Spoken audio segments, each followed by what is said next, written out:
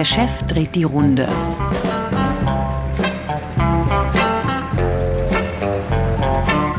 Alles seins. Ein eigener Campingplatz war immer Svens Traum. Hi. Und der von Odette. Geht denn jetzt? Komm nachher mal. Sie und Sven leben da, wo andere Urlaub machen. Vor gar nicht so langer Zeit war hier vieles ziemlich ungepflegt. Als Sven und Odette Bettermann übernommen haben, hat der Platz wieder ein Herz bekommen. Kann ich euch helfen? Und gilt bei Campern als Geheimtipp. Hier rauf auf dem Platz, hier vorne gleich steht Märchenwiese dran. In Naumburg, einer Kleinstadt rund 30 Kilometer von Kassel entfernt. Die Lage idyllisch zwischen Habichtswald und Edersee. Natur und Ruhe also, wenn nicht gerade Rasen gemäht wird. Es ist kurz vor Himmelfahrt. An Feiertagen ist der Platz ausgebucht. Das Büro des Campingplatzes ist das Reich von Campingchefin Odette Bettermann. So, hallo. Ich hoffe, dass Sie mir treffen. äh, Ja, Von hier aus entscheidet sie über mehr als 200 Stellplätze. ganz. Ganz. Anmeldungen, Auschecken, Infos über die verschiedenen Unterkünfte. Ganz, hier Ja. haben wir es, jawohl. Manchmal sitzt sie über Stunden am Schreibtisch. Ja? Und da ist ein großes Schild mit Hümer. Da meldet ihr euch nochmal bei dem Fredo. Okay, Ne? Alles klar, viel Spaß. Vielen Dank. Nur hier sitzen könnte ich nicht. Ich bin froh, wenn ich hier raus bin. Also das Büroarbeit ist eigentlich das, was mir gar keinen Spaß macht, aber was halt Pflicht ist. Ne? Das ist so Pflichtprogramm für mich. Das ist eigentlich, oh, nein, eigentlich wollte ich das nie machen. Ich wollte nie Büro machen. Es bleibt ihr allerdings nichts anderes übrig. Denn von Büroarbeit hält Sven sich lieber fern. Er ist der Mann für draußen.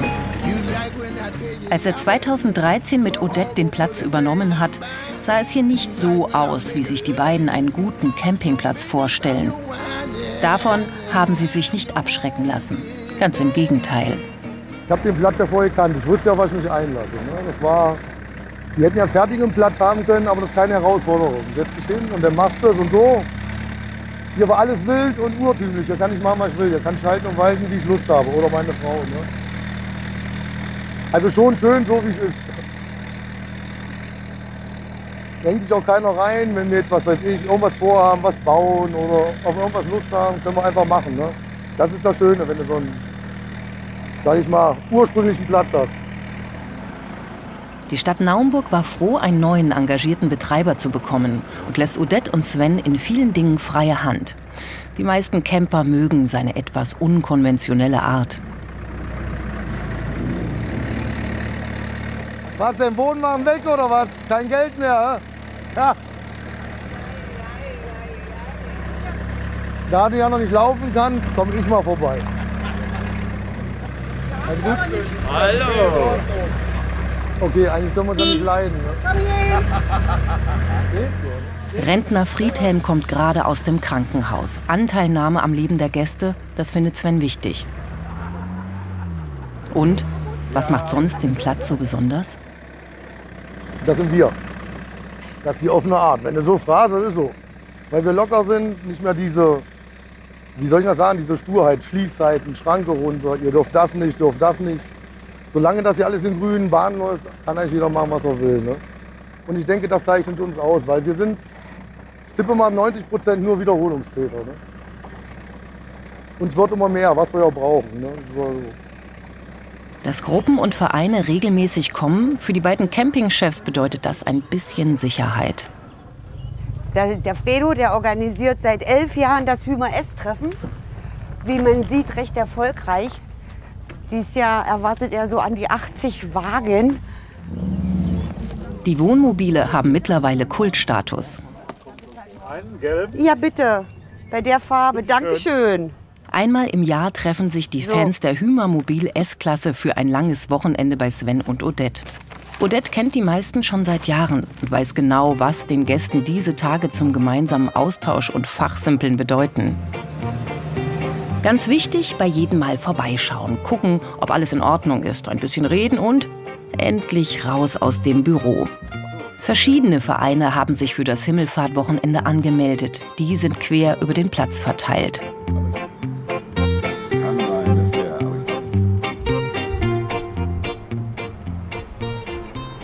Bei euch alles gut?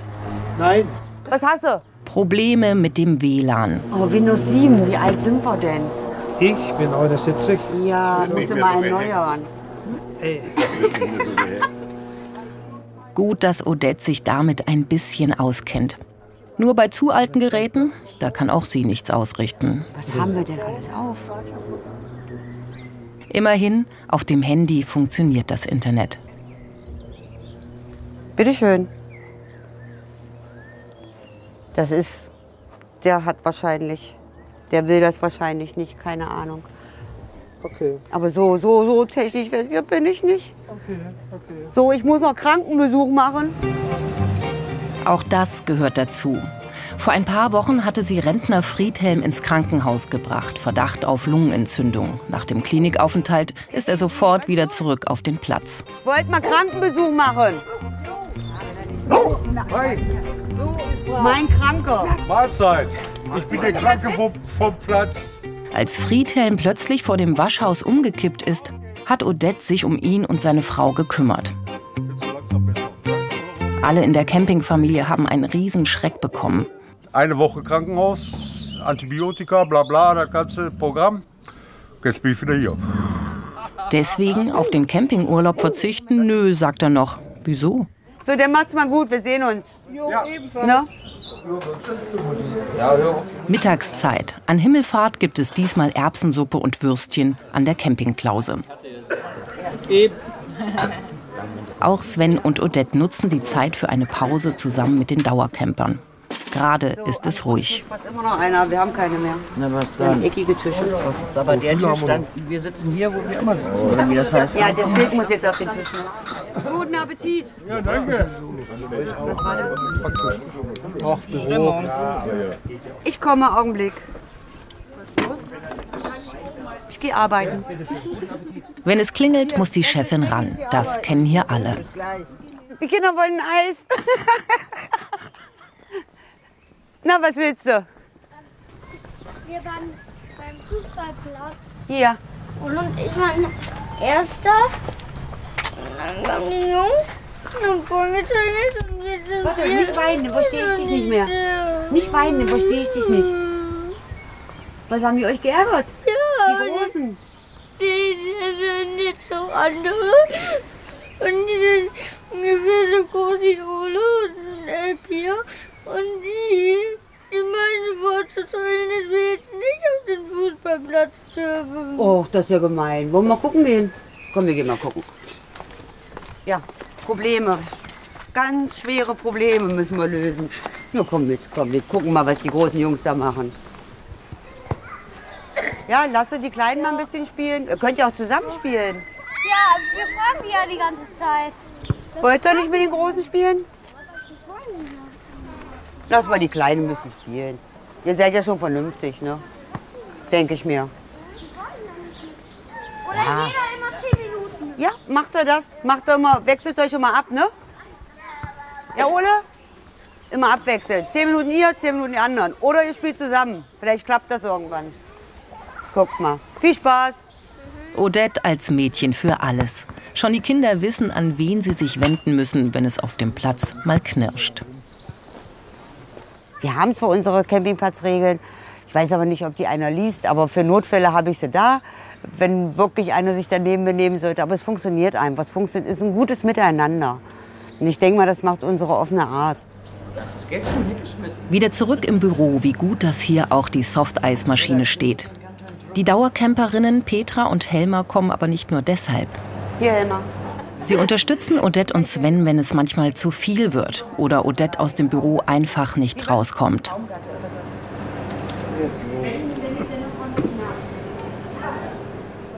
Also wir wohnen hier äh, noch keine Viertelstunde von hier entfernt.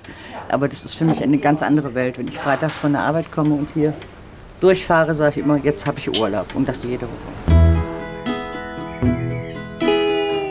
Mehr als 30 Millionen Übernachtungen gibt es im Jahr auf deutschen Campingplätzen. Warum zieht es so viele Menschen mit dem Wohnwagen oder dem Zelt ins Grüne? Fragt man die Kinder hier, ist die Antwort klar, weil Sven mehrmals am Tag mit dem Traktor und den selbstgebauten Anhängern über den Platz fährt. Nur mal hinhosen, Scheißer.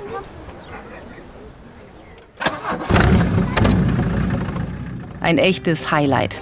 Nicht nur für die Kleinen.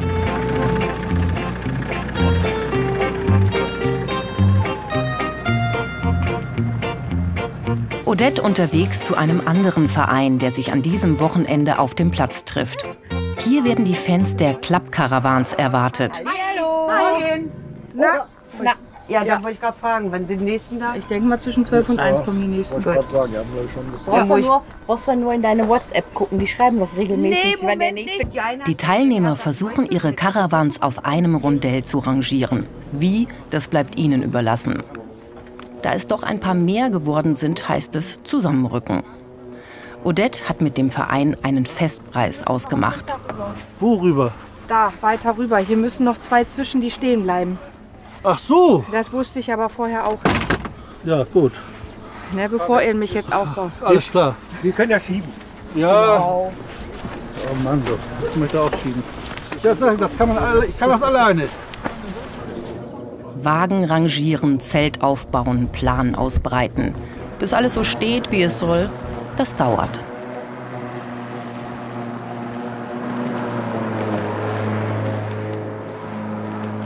Bei den meisten ist der Aufbau Teamarbeit. Manche müssen alleine ran. Wie Rollo aus Stade mit seinem Klappkarawan. Meine Frau, die gute, die hilft nicht, weil sie kommt dann, wenn alles fertig ist. Ne? Ich meine, so schön Wettercampen macht sie ja auch manchmal. Ne? Aber im Grunde ist das nicht. Das ist, man kann Camping nicht lernen. Man ist Camper oder man ist es nicht. Da gibt es nichts zwischen. So. Das ist mein norddeutsches Edelweiß. 15 Jahre alt und sieht aus wie neu. Diese Klappkarawan-Freundin hat sich schon fertig eingerichtet und zeigt, so kann's aussehen. Mehr brauchen die Klappkarawan-Camper nicht, um happy zu sein. Kochen, essen, schlafen, das alles geht auch auf wenigen Quadratmetern. Mittlerweile steht auch das Heim von Rollo aus Stade. Die Deko übernimmt die Frau. Na bitte. Und Rollo? Für ihn fängt jetzt die beste Zeit an. Schöner Platz, alles fertig aufgebaut, super Wetter. Doch das ist nicht die Hauptsache, findet er. Als Camper ist man ja auch, ich will nicht sagen leidensfähig, aber man ist doch schon viel toleranter mit vielen Sachen. Ne? Ist nun mal so. Muss man ja auch sein, weil das ist ja alles nicht so das Perfekte. Und das gehört da ja mit zu, dass das alles nicht so perfekt ist wie im normalen Alltag. Ne? Also man kann auch loslassen, man kann entspannen und dann ist das schon gut. Er hatte von allen die weiteste Anreise. Christian Zwiegert kommt aus Bern in der Schweiz. Und dann Urlaub in Naumburg? Doch ihm geht es um die Gemeinschaft, die er hier findet. Leute, die ein bisschen so ticken wie er. Hier kommt man her und du bist willkommen. Egal welche Gesellschaftsschicht oder wie man sagt oder und so weiter, egal. Das, das Hobby Camping, das verbindet einander, oder? Und ja, das sieht man ja auch, wie man hier nachher mit Tischen und so weiter so zusammensitzen tut und das gefällt mir.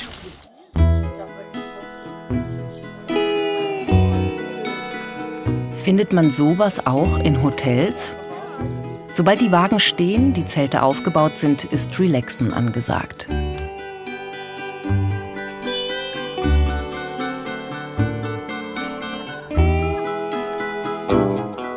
Maria und Albert van Dromme müssen sich um Auf- und Abbau nicht mehr kümmern. Sie haben ein kleines Ferienhäuschen auf dem Platz von Sven und Odette und dazu ein Wohnmobil.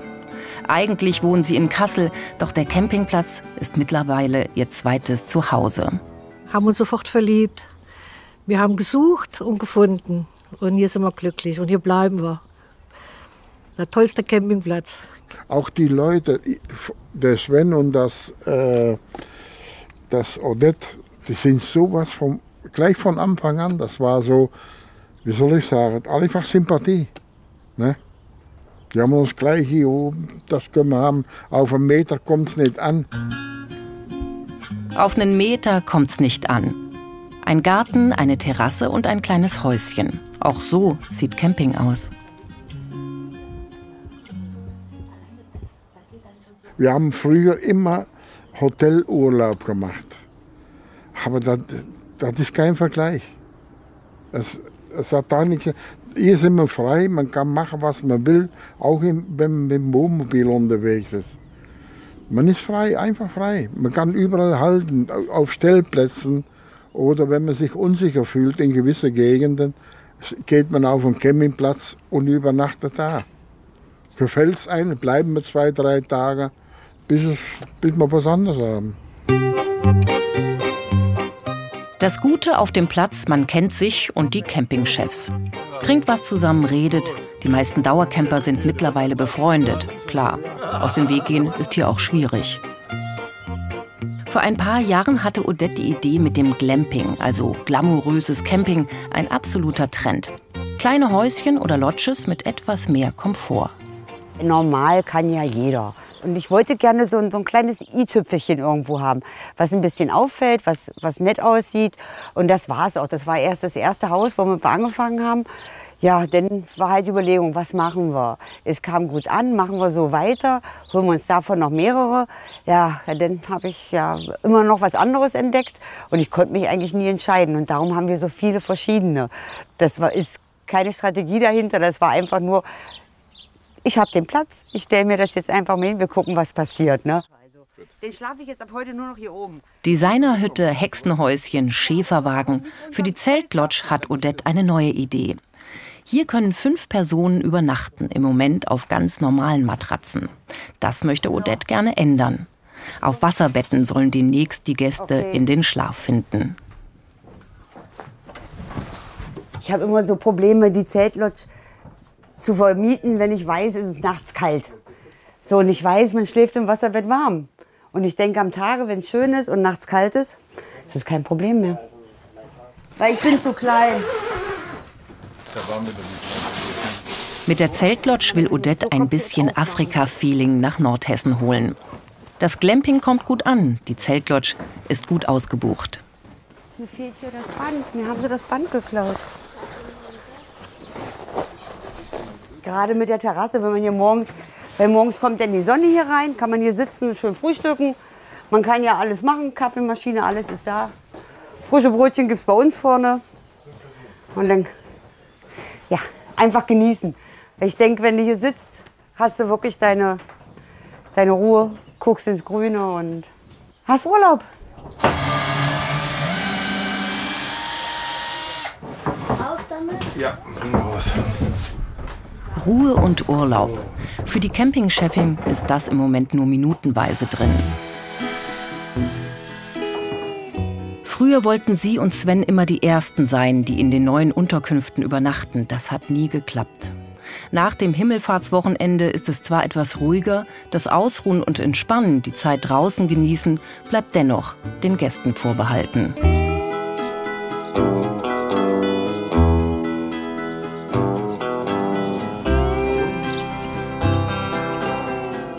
Das obere Areal des Platzes ist das Reich der Dauercamper. Hier haben auch Petra Pilz und ihr Mann Rainer ihren Wagen. Das Kaffeekränzchen findet bei schönem Wetter natürlich draußen statt. Wir finden es toll, wenn der Platz voll ist ja. und sind auch gern dabei. Aber du kannst dann eben auch, wenn du nicht willst, dann bleibst du halt hier oben hocken und trinkst dein Bierchen oder was. Ne? Das ist schon oder alles Kaffee. schön. Oder Kaffee. Ja. ja. Hat er ganz gut wehgetan. Ja. Was macht er? 1. Juli habe ich Urlaub. Wann ist so die schönste Zeit hier? Im Frühjahr. Frühjahr, ja. Wenn es anfängt grün zu werden. Dann ist es hier am schönsten. Dann freuen sich auch alle am meisten, denn die meisten sind ja nicht über den ganzen Winter. Wir sind auch nicht den ganzen Winter hier, also wir haben auch noch eine Wohnung, so ist das nicht. Ne?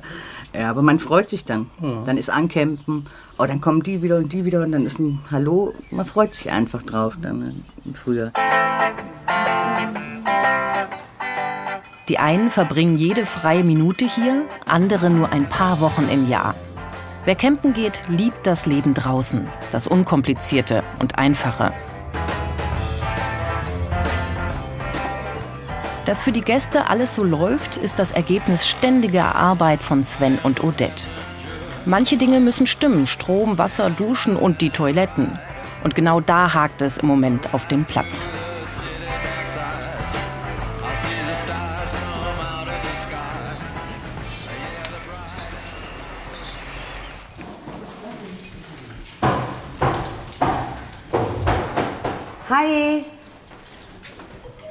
Und was ist, haben wir jetzt hier?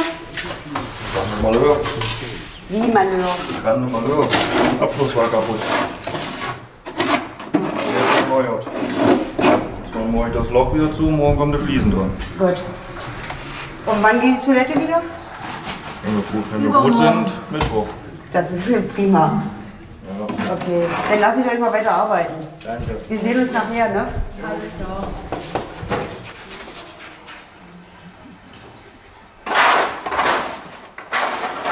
Wir hatten äh, ganze Zeit Probleme mit Verstopfungen und es waren drei Klos betroffen und es hat jetzt ein paar Tage gedauert, ehe wir endlich die Ursache gefunden haben. Jetzt Ursache gefunden. Jetzt sind die gerade dabei, das zu beheben. Gott sei Dank, weil es ist einfach nur nervig, wenn die Klos ständig zu sind. Das ist Katastrophe, können wir nicht gebrauchen. Schon gar nicht so kurz vor Pfingsten, wenn das große Hundetreffen auf dem Platz stattfindet. Mehr als 100 Hunde der Rasse Shebu mitsamt Herrchen, Frauchen, Familie und Freunden treffen sich jedes Jahr für ein paar Tage hier in Naumburg. Die Aufstellung zum Gruppenfoto mit Svens Anhänger in Szene gesetzt, ein echter Kraftakt.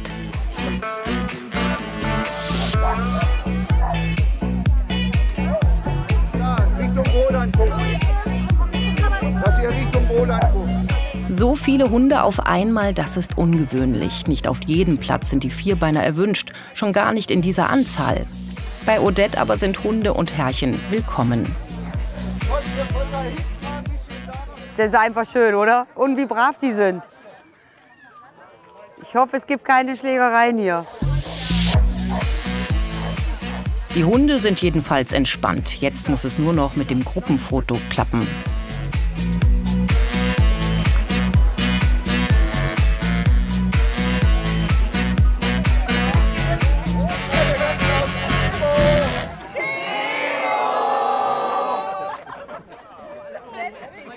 Wenn die kommen, dann passt das und wenn die anderen kommen, passt das auch. Und es macht irgendwo, das eine ist, ist, ist ja immer komplett anders und das macht irgendwie auch wieder Spaß. Das ist immer wieder, ich glaube, das macht es eigentlich aus. Dieses, immer dieser Wechsel. Heute die, morgen die. Und da hat man immer, man hat immer was zu tun, man hat immer andere Leute. Und man ist irgendwie, ja klar muss man umzwitschen, aber man hat, das ist irgendwo, ja bei den Hühnern kann ich nicht rumgehen, irgendwen streicheln, das ist blöd, ne? Und jetzt kann ich einfach rumgehen, kann irgendwen streicheln, egal wer kommt, ne? Und das, das ist halt auch toll. Und da ich ja eh Tiere mag, ist das, natürlich passt das super zu uns auch, ne?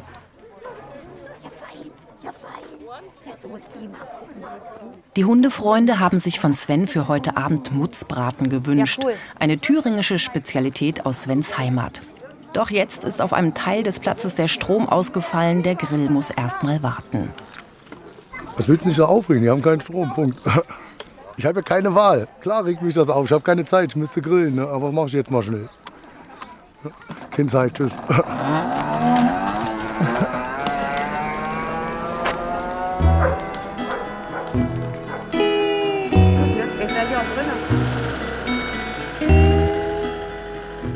An diesem Wochenende ist der Platz wie an den meisten Feiertagen im Frühjahr und Sommer restlos ausgebucht.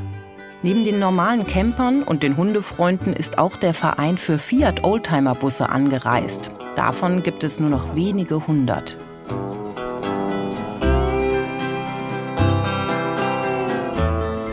Einen wunderschönen guten Tag wünsche ich euch. Ich wollte mal ein bisschen gucken. Läuft, es läuft. Wir haben ja genug Werkzeug dabei. Ah, da- Das ist gut, das ist gut. Und Ersatzteile.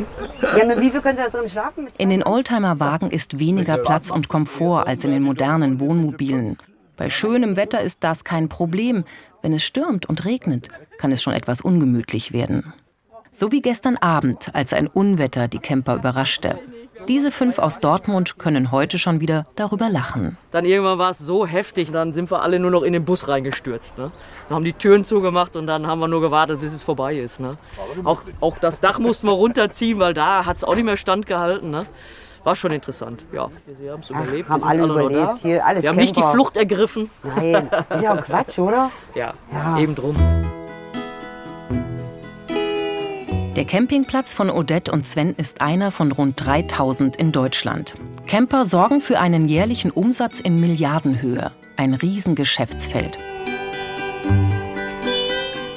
Zusammen etwas aufbauen, an einer Sache arbeiten. Bevor Sven und Odette den Platz übernommen haben, arbeiteten sie in Grünberg bei Gießen in völlig anderen Branchen. Ich habe drei Bildungsstätten hinter mir sozusagen. Und davon 17 Jahre in der Bildungsstätte Seuchengartenbaus. Also ich war da jeden Abend und gerne. Und war auch schön. Ich, Ja. ich habe Staubsauger verkauft, Vorwerk. Richtig. Zum Schluss jetzt. Auch Spaß gemacht. Hat alles so seine Zeit. Ne? Das war auch gut. Ja, Ja, ich sehe nicht so aus, aber Anzug, Krawatte geht auch. steht ja auch, ja. Ja. 2013 kündigten sie ihre Jobs und Wohnung in Südhessen, übernahmen den Campingplatz in Naumburg und stürzten sich in die Arbeit. Im ersten Sommer saßen wir Platz sauber, Also alles fertig, gepflegt. Alles schön. 30 Grad, kein Schwein da. Keiner da. Was habt ihr da gedacht? Ja, wenn Ja, das so weitergeht, kann man wieder einpacken, ne? Nein, es war schon, ein- war schon, die erste Zeit war schon heftig, war hart. Also da, wir kamen, waren in kein Campingführer richtig drin, weil wir, wie gesagt, im November, da ist alles, alles gelaufen, die ganzen Campingführer sind durch. Und der hat auch nicht die besten Namen, das merkst du auch. Ne? Das, Ja. das zieht heute noch teilweise nach, dass der Ruf einfach im Arsch war. Punkt. Ist so. Das merkst du heute noch. Ne? Sieht zwar jetzt, aber es sind immer noch Lücken, wo du denkst, da geht noch was. Ne? Svens Mutzbraten ist doch noch auf den Grill gekommen. Jetzt muss er das Fleisch alle 10 Minuten mit einer Marinade aus Schwarzbier, Senf, Zwiebeln und Knoblauch begießen. Sich immer wieder etwas für die Gäste einfallen lassen ist wichtig, sagen beide. Den Stromausfall konnte Sven schnell selbst beheben. Ansonsten hilft man sich aus auf dem Platz und das klappt meistens. In der Regel kriegen wir alles allein in den Griff. Die richtigen Leute sitzen auf dem Platz. Elektriker, Tischler, wir haben eigentlich alles da, was sein muss für Notfälle. Guck, da rennt der Nächste auf dem Dach. Der macht gerade das Internet so ein bisschen für uns. Gibt doch kein Geld, ne? da gibt es immer schön Essen oder Shoppe trinke. Aber umgedreht hier genauso, wenn die was haben, haben wir auch. Ne? Das hat sich so ergeben. Ne? Das ist Aber das macht schon Sinn, so handwerkliche Berufe werden schon abgefragt, klar. Automechaniker haben wir, alles was du so brauchst. Die Hundefriseurin ist nur an diesem Wochenende auf dem Platz. So, das ist also ein kleiner Rauhaar. Noch Elo. Der Verein der Schäbo-Züchter hat den Campingplatz zur Tagungsstätte gemacht. Tipps zur Feldpflege gehören zum Programm. Dass sich die Vereine regelmäßig hier treffen, ist nicht nur für die Campingchefs ein Glücksfall. So. Die sind so unglaublich freundlich. Hier gibt es gutes Essen. Hier wird man aufgenommen in der Familie fast. Ne? Also wir fühlen uns hier unglaublich wohl als Verein und haben deshalb schon auch jetzt wieder beschlossen, dass wir nächstes Jahr zu Pfingsten wieder hier sein werden.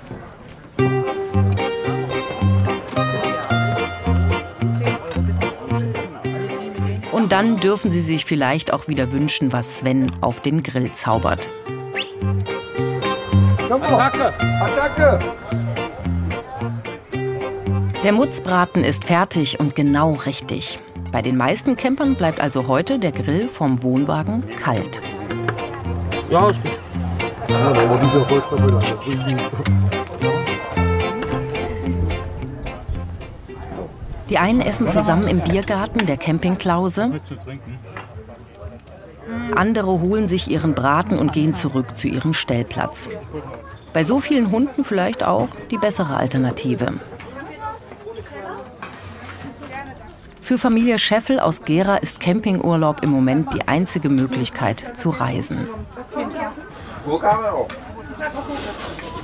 Guck mal, ich hab dir dein Abendessen mitgebracht. Eine ganze Wurst. Also wenn man sich entscheidet, Hunde zu haben und dann mehr als einen, äh, dann wird äh, Hotelurlaub fast ausgeschlossen. Weil ein Hotel findet man vielleicht noch mit einem Hund, aber selbst das wird schon schwierig. Aber dann zu sagen, ich habe vier Hunde und hätte gerne ein Hotelzimmer, da macht keiner mit. Camping also statt Hundepension. Hier stört sich wirklich keiner an den Vierbeinern. Und egal wie viel am Tag auf dem Platz los war, nach dem Abendessen kehrt tatsächlich Ruhe ein. Auch die Campingchefs haben jetzt endlich Zeit für eine Pause. Ein bisschen Urlaub. So wie alle anderen auch.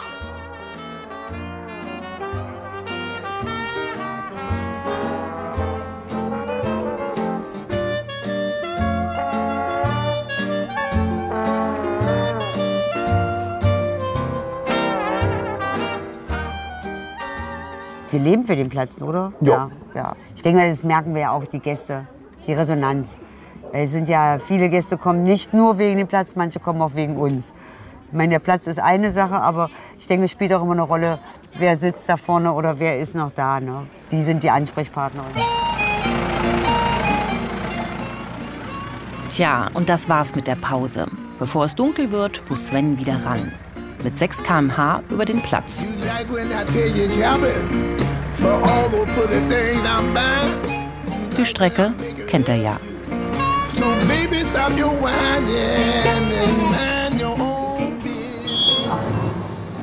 Der nächste Morgen, Pfingstmontag. Um 10 Uhr ist es noch relativ ruhig im Büro. Auch auf dem Platz lassen es die Camper langsam angehen.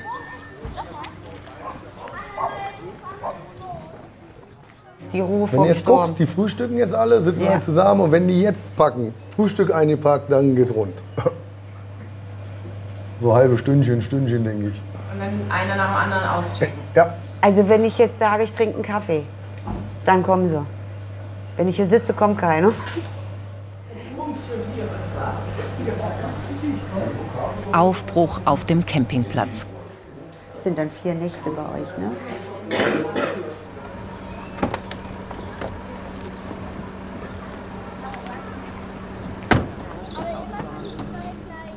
Genau wie vorausgesagt reisen fast alle gleichzeitig ab.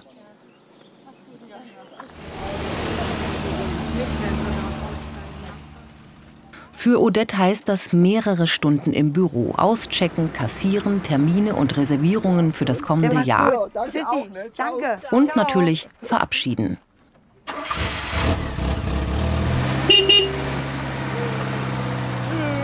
Ciao. Tschüss. Nur wenige Camper lassen sich mit der Abfahrt noch etwas Zeit. Am Ende der Feiertage sind die Autobahnen voll. Spätestens nach dem Spülen wird alles gepackt, dann geht es ab nach Hause in den normalen Alltag.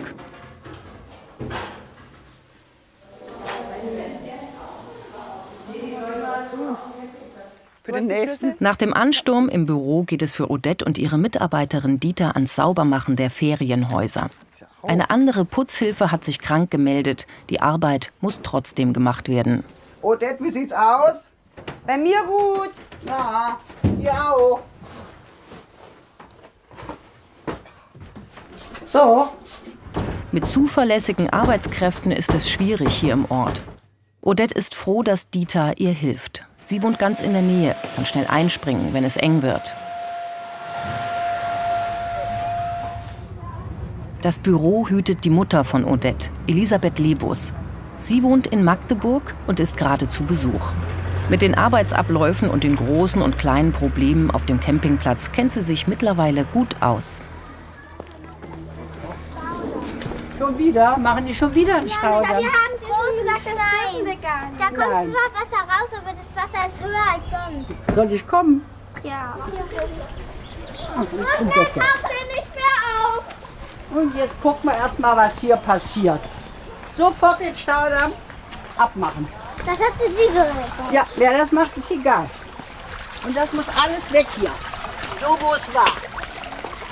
Uah, was man alles machen muss hier. Ja, ist Ja, schwer. oh. Warte, warte, warte. Ich nehme die.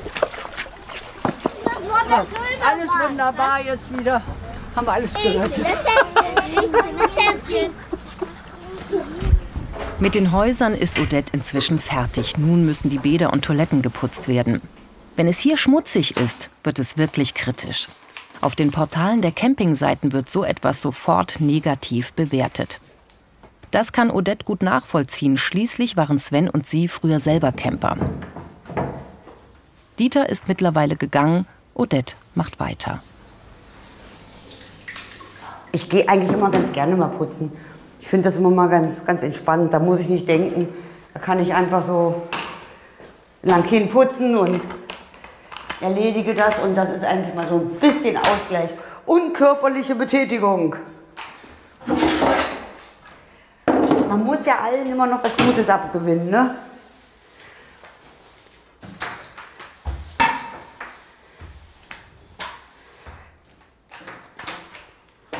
Ja, und da heute Pfingsten ist, wollte ich auch nicht der anderen Putzfrau das noch zumuten.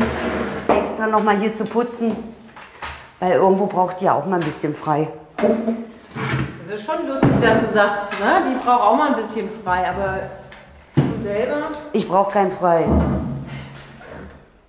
Wer rastet, rostet. Nein, mich stört das eigentlich gar nicht. Weil ich es auch gerne mache irgendwie. Außerdem freue ich mich, wenn die Leute dann wieder zufrieden sind. Und ich kann sagen, ich war's. Ja.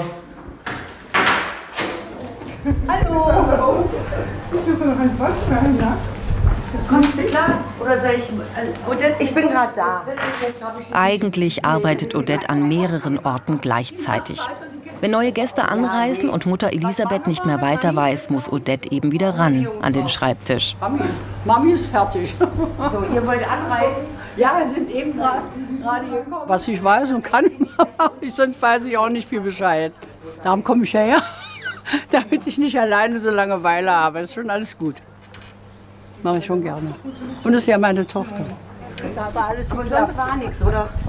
Nö, die habe ich da hingeschickt, die kommen sie nachher. Und da habe ich einen Plan mitgegeben, habe ich Rotkäppchen und Sternkerle ausgestrichen. Hast du richtig gemacht. Und dann äh, kommen sie zu dir und die wollen ein paar Nächte bleiben, Gut, sie gesagt. richtig. Damit sie, waren auch Holländer. Ja. Bartputzen muss jetzt warten. Ja klar, erstmal Anreise. Dafür gibt es auch noch Zeit. Das kann ja Ich habe ja noch Zeit. Der, der, Ja. der Tag hat 24 Stunden. Ich habe auch schon nachts geputzt. Das ist mir aber auch. Also ja, eigentlich ist es schöner. Dann hat man seine Ruhe. Aber auch nicht wirklich. Irgendwer kommt immer. Irgendwer kommt immer. Und das soll auch genau so sein. Ein leerer Platz, schlecht fürs Geschäft. Seit mehr als sechs Jahren sind Naumburg und der Campingplatz das Zuhause von Odette und Sven. Leben, Alltag und Arbeit spielen sich hier ab. Und deshalb ist es für beide auch so wichtig, sich kleine Auszeiten zu nehmen. Eine Spazierfahrt mit Bulldogge Bernd zum Beispiel. Auf dieses Ritual freuen sich anscheinend beide.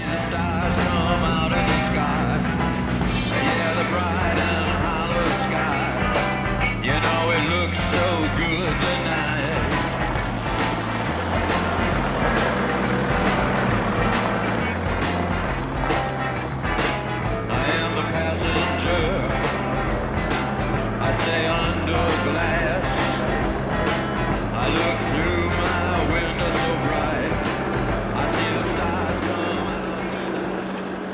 Eine Viertelstunde Rundtour auf dem Platz. Zeit für Hund und Herrchen. Familienzeit sozusagen. Odette weiß, heute wird sie das Büro wieder über Stunden nicht verlassen können. Es ist Anreisetag für viele Holländer.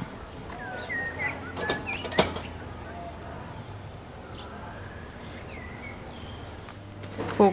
Ah, die haben wir. Die habt ihr? Ja, ja, die okay. Kriegst du der nächste. mich. Nicht zu danken. Und Tschüss. tschüss. So. Jetzt werde ich meine Raubtiere füttern. Odette und Sven wohnen gleich über dem Büro. Odette findet das praktisch. Richtig abschalten von der Arbeit auf dem Platz kann sie sowieso nicht. Im Büro leben auch ihre geliebten Tiere. Neben Hund Bernd auch die Chamäleons Frieda und Horst. Lass dir schmecken. Ja, Die Kinder freuen sich immer. Vor allem, wenn ich die füttere. Manchmal schrecken sie sich auch. Auch Kater Fritz lebt im Büro. Aber das reicht Odette noch nicht.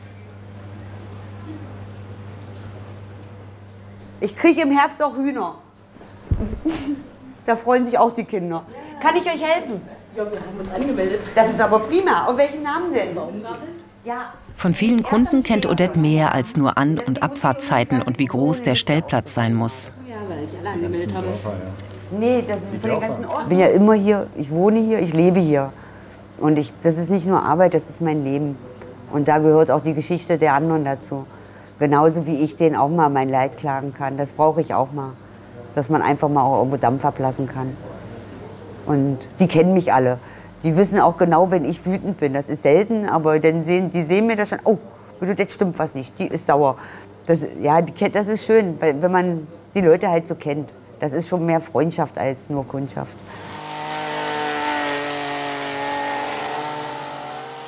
Der Campingplatz ist das ganze Jahr über geöffnet. Von April bis Ende Oktober ist am meisten los, dann wird es ruhig. Im November machen Sven und Odette zwei Wochen Urlaub. Danach gibt es immer irgendwo Baustellen, an denen gewerkelt werden muss. Oder neue Ideen, für die die beiden dann endlich Zeit haben. Eigentlich lässt du denn das Jahr Revue passieren. Das ist richtig geil. Der Winter ist richtig gut eigentlich, Jetzt, weil du nein, denn so nein, nein, Kopf runter. Du vergisst was. Was denn? Wann fängst du denn an zu jammern? Im Januar. So langsam Ja. könnten sie aber kommen, ne? Also wir, wir brauchen eigentlich keinen ganzen Winter. Nein, so also ein ganzer Winter ist so Monate. lang. Bei denen geht schon wieder los. Wie ist das Wetter? Will nicht mal wer kommen? Wieso kommt denn keiner? So ganz ohne Campingplatz? Das klappt anscheinend nicht mehr richtig. Heute haben Odette und Sven spontan zum Grillen und Stockbrot eingeladen. Tochter Martha ist zu Besuch, sie wohnt mit dem Enkelkind noch immer in Grünberg. Ansonsten sind Freunde und Nachbarn gekommen. Die Camperfamilie.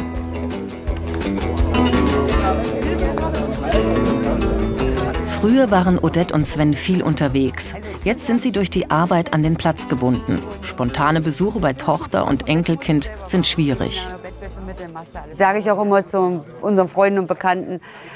Ja, wir können nicht weg, wenn wenn ihr uns sehen wollt, dann müsst ihr kommen. Ne?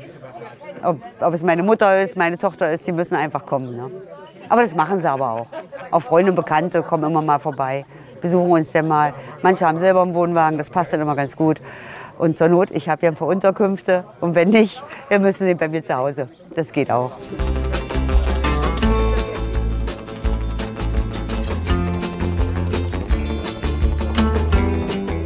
Eigentlich hatte Odette gehofft, dass ihre Tochter Martha mit dem Enkel nach Naumburg zieht. Mit ihr und Sven auf dem Platz arbeitet. Gemeinsame Zeit, so wie heute, das ist selten. Nein, das ist aber. Es ist so, wir können es nicht ändern. Leider. Ich hätte sie gerne hier, aber vielleicht. Vielleicht später mal, aber momentan ist es nicht meins. Also ich, es ist zwar immer mal schön hier im, im Sommer mal mit zu sein und alles, aber so auf Dauer. hm. Ist für sie jedenfalls hier doch zu wenig los. Gut, dass es also noch die Dauercamper auf dem Platz gibt. So wie Rainer, der heute den Grill übernimmt, damit Sven einmal nicht hier steht. Als wir heute hier runtergekommen sind, wussten wir noch nicht, dass Rainer grillen muss. So richtig schlimm findet Rainer das nicht. Er ist froh, dass sich der Platz unter Sven und Odette so gut entwickelt hat. Wo Not am Mann ist, wenn irgendwas ist, sind wir immer da, ja. Das ist eine große Familie eigentlich schon mittlerweile geworden. Wir sind von Anfang an dabei, als Sven und Odette hierher kamen, haben uns auf Anhieb verstanden und so ist es geblieben und besser geworden. Wie war das? Zum Campen muss man geboren sein. Ein Dazwischen gibt es nicht. Vielleicht gilt das auch für die Arbeit als Campingchef. Nach mehr als sechs Jahren sind Odette und Sven noch immer sicher, hier genau richtig zu sein. Das Risiko hat sich also gelohnt, oder? Guck mal, Gar wir den. Platz übernommen haben, wie viele Freunde und Bekannte haben Die haben gesagt, alle ihr gesagt, wir sind bescheuert. Total bekloppt. Meine Eltern, nein, könnt ihr nicht machen. Das, wenn das schief geht, ihr, ihr habt Arbeit, äh, das funktioniert, ihr habt Wohnung, was wollt ihr denn? Warum woll- Aber wir haben gesagt, nee, wir wollen noch mal, wir wollen was zusammen machen. Und das war uns wichtig, ne? Ja. Und das haben wir jetzt und nee, also wir sagen immer, wir haben alles richtig gemacht. Jo. Alles andere wäre auch Quatsch. Wir Ja. haben alles falsch gemacht. Ja.